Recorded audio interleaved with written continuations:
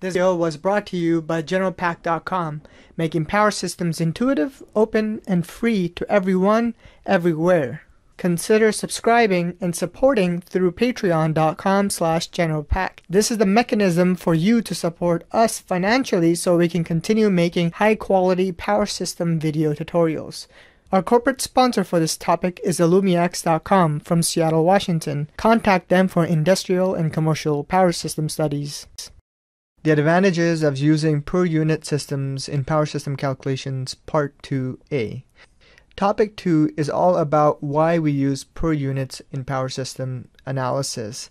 Now, this is the first part of the series on answering this question However, we have introduced per unit systems in the previous series and discuss how we derive them. In this series, we will demonstrate the significance of using per unit systems in power system calculations.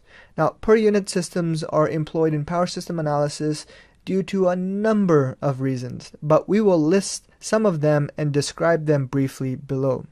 The first reason is because of easy calculations and easy comparisons when we are given two equipment to compare, say two generators, and we have to choose one for our power systems, we have to compare it quantitatively and qualitatively, and using per unit systems can come in handy for the quantitative part. We use per unit values of systems to determine the generator's requirements and then decide which will be the best fit for a power system. This is described in more detail in part 2b.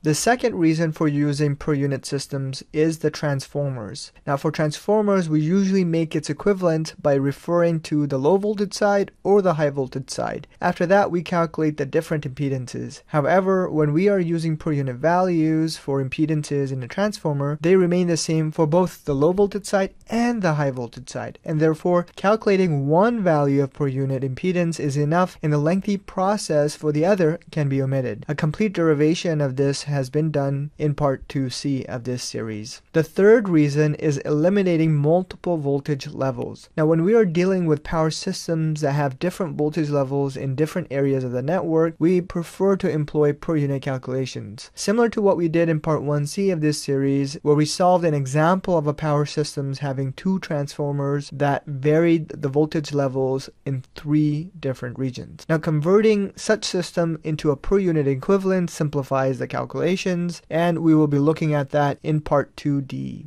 The fourth reason is the elimination of the square root of 3. So it's obvious that by mentioning the square root of 3, we are talking about calculations involving three-phase systems, and three-phase systems that are commonly connected as either Y or delta. We saw some formulas and derivations in part 1d of this series that showed how square root of 3 got cancelled out for three-phase calculations. And by doing so, those calculations became more simple. We'll be looking deeper into this in the upcoming video, part 2e. Now in this video, we discuss the advantages that per unit systems bring in to analyze a power system, and we refer to several other parts, part 2b, c, d, and e of this series that prove uh, some of those concepts.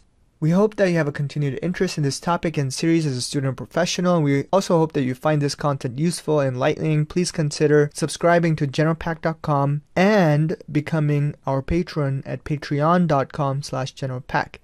Thank you.